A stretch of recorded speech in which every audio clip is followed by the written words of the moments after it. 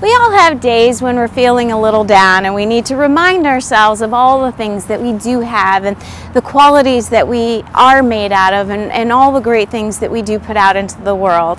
And we want to get that into our minds and our bodies. And there's a really powerful exercise that I did once where we literally were lifting energy up on another person, just outside them, never touching them, just lifting up their energy. And if you did this kinesthetic arm test, they would get stronger simply by the action of lifting their energy.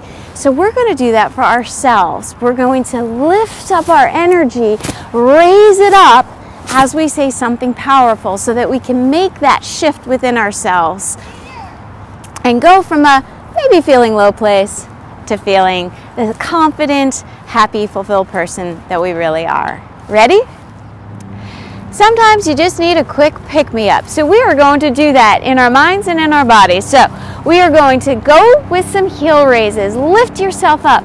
What are some words of encouragement that you can say to bring yourself up? And you can even add the hands and lift yourself up. Bring your energy up.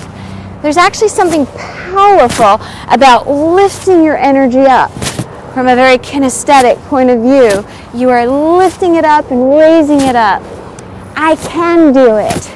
I can do hard things. Yes, I'm capable. Yes, I deserve it. I love me. what else? I'm a good person. What is it that you want to believe in your heart and in your soul? Say that and bring it out into the universe.